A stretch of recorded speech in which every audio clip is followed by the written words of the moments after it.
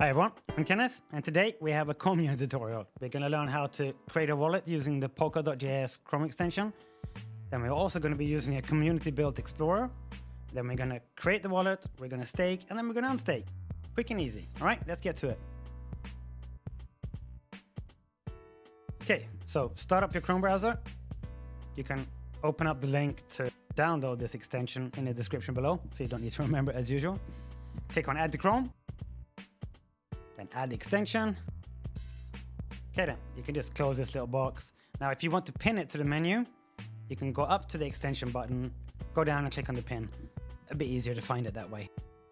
All right, open up the extension. Now read through this, is good information as usual. Tells you what they do not do. Now understood and let me continue.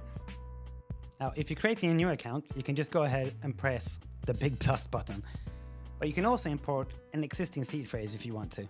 So if you go up to the plus button here and click on import account for pre-existing seed, that's how you import your other accounts. But we're going to go ahead and create a new one. Click the big plus button. Now make sure you save your seed phrase somewhere securely. I hear horror stories about how people say that kind of stuff.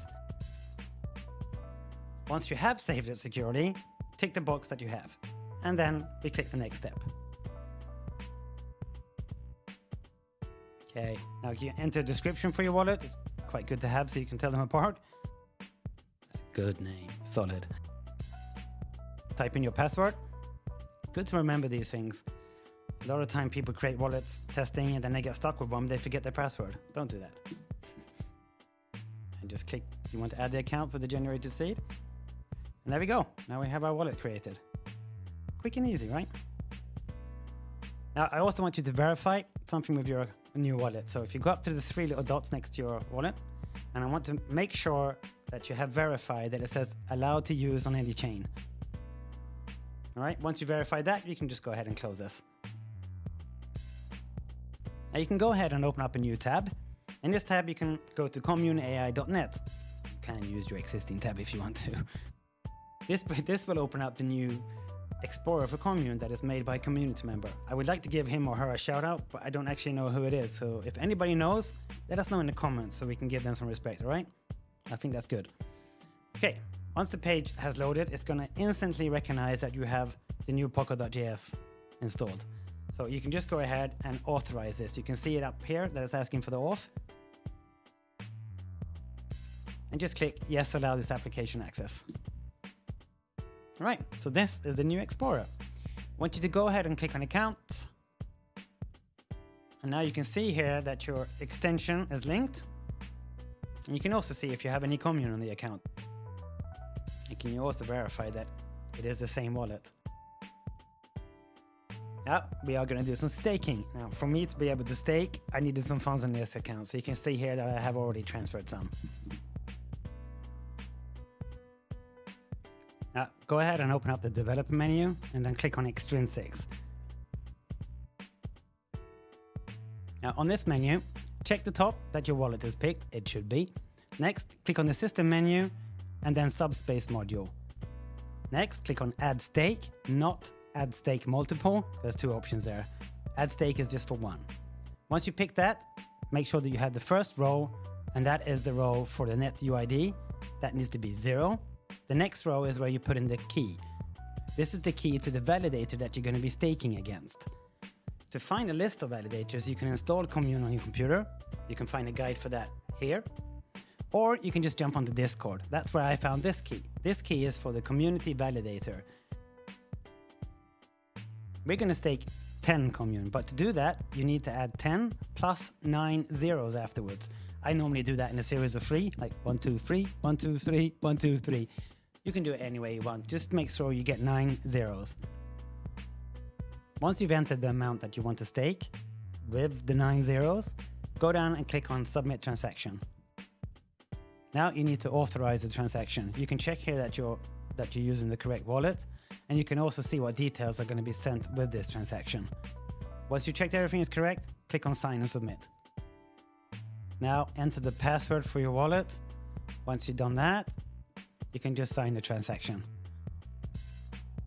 All right, and in the top right corner, you can see how the transaction is going. Now you can see that it's done. All right, so if you go up and click on the accounts menu again, you can see here that I used to have 50 and now I have 40, which means that I have staked 10. But you can also verify that if you want to. You can go up to the developer menu and click on chain state. From here, if you go to the first option, it's subspace module again. On the next option, you want to check who you have staked to, and that one is called stake to. You want to make sure that your wallet is picked, because you want to see who you have staked to. Once you've done that, just click on the plus symbol up in the top right corner, and you will get an instant reply. Now, I waited a while before doing this. You won't notice that in the video, of course, just to show you that you can check how much you have been earning while staking. I staked 10, but you can see here that there's extra numbers. That means I have earned this while staking. You can normally just wait an hour to see a difference if you want to. All right, let's continue. All right, let's go ahead and do some unstaking. Go up to the developer menu and click on Extrinsics again. Make sure that your wallet is the selected one. Go down to the system menu, choose subspace module. Next, we want to remove stake. So you click remove stake. The net UID needs to be zero. On the key, you need to pick the key or the validator that you staked against. Here, you put in the amount that you want to unstake. And remember, we needed to add nine zeros at the end. And then submit transaction, check, sign and submit, put in your password, and then just sign the transaction. And you can always see at the top right corner what's going on and that it's working on something, and that it's done. Nice and easy.